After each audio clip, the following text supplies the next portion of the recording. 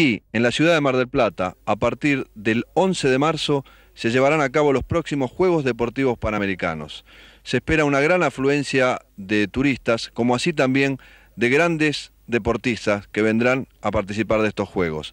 Pero apenas lleguen a la ciudad de Mar del Plata, se encontrarán con el primer inconveniente. No sabrán cómo llegar a los lugares donde deben hospedarse o también donde deben desarrollar las actividades físicas. Deberán depender de la buena voluntad de algún parroquiano que les indique, porque por ahora no hay otra manera. Usted lo, dice muy bien. Eh, la semana que viene se comienzan a colocar todos los carteles de señalización. El problema es muy simple.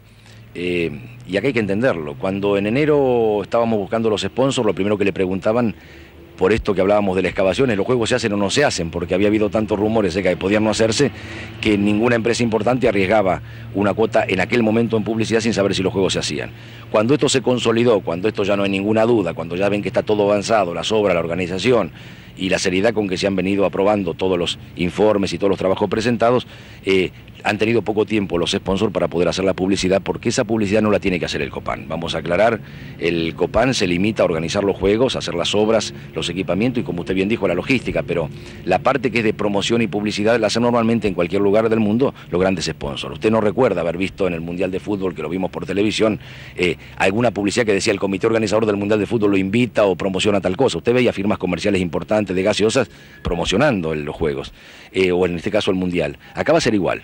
Acá las firmas sponsors importantes de los juegos son las que ahora van a aparecer con un pequeño cupo de publicidad dentro de lo que va a ser toda la cartelería y toda la publicidad este, que hace a los juegos eh, en una campaña muy grande de señalización donde van a poder ver las mascotas en los distintos deportes, en las distintas figuras, los pictogramas. Yo entiendo de que en la semana que viene, fin de la semana que viene, se comienzan a colocar todos los carteles.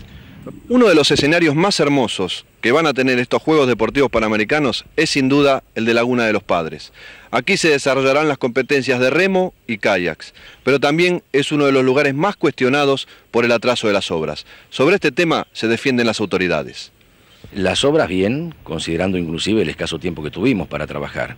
Nosotros siempre le explicamos a la gente cuando viene que tienen que entender que el año pasado, en enero, o sea, exactamente a un año, en ese parque de deporte que ustedes vieron, lo que había era un pozo, que era la excavación del polideportivo.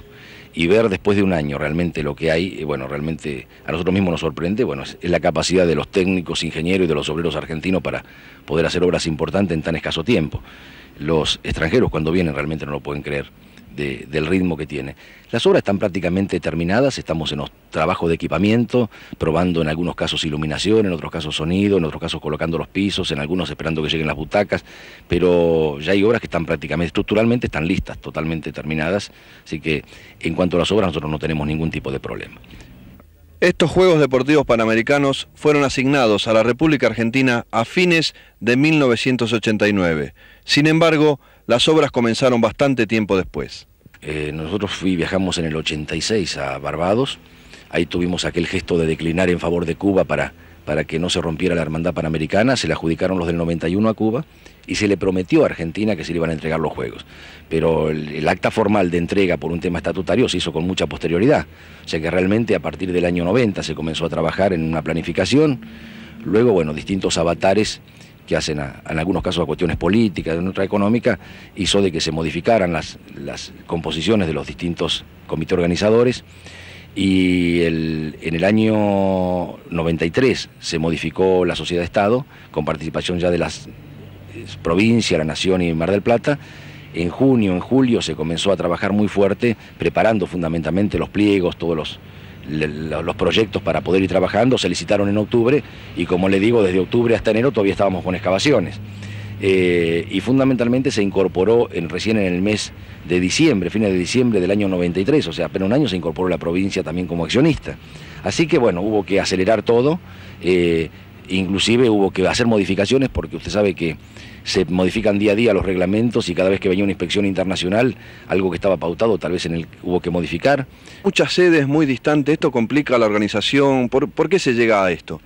Por varias razones. Primero, por un acto estrictamente de federalismo, segundo, por un acto de austeridad, de economía, y tercero, por un acto de, de raciocinio que es muy simple. Si no hay cultores, por ejemplo, de softball y de béisbol en Mar del Plata, aparecía como un disparate montar un estadio importante porque eh, usted no puede improvisar un estadio, porque los reglamentos internacionales, las inspecciones, especialmente de los países del norte, que para ellos el softball, el béisbol es un deporte prácticamente nacional, le implicaban dotarlo de la mismo confort que tiene casi el estadio mundialista, por ejemplo. Entonces aparecía como una estupidez hacer escenarios para que después nos reprochara la comunidad porque habíamos hecho un escenario importantísimo para cerrarlo después de los Juegos. Entonces la idea es aprovechar, por ejemplo, el estadio de Seiza, y se lo está remodelando totalmente, iluminando para béisbol, donde se hizo, llegó a ser un mundial hace muchos años atrás. Y en el caso de softball, bueno, es bien sabido por todos que Paraná es un poco la capital del softball, tienen dos estadios, la ciudad vive al conjuro del softball, nos parecía un acto de justicia que Paraná participara.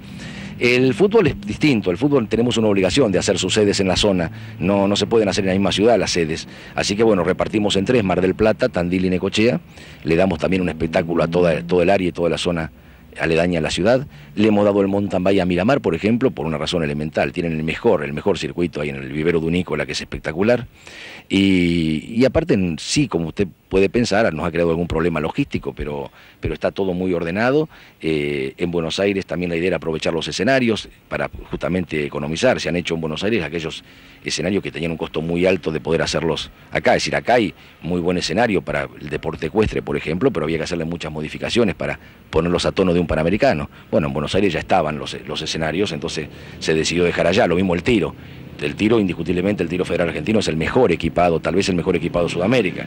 Entonces, acá los cultores del tiro van a seguir teniendo su escenario en Mar del Plata, pero a nivel panamericano es realmente importante el que está en Buenos Aires. Y así fue, se aprovechó, no nos ha creado problema, eso digo, también y esto también tiene un sentido, que es que el dinero, si bien Mar del Plata, como decíamos hoy, también hace su aporte, acá hay dinero de toda la comunidad.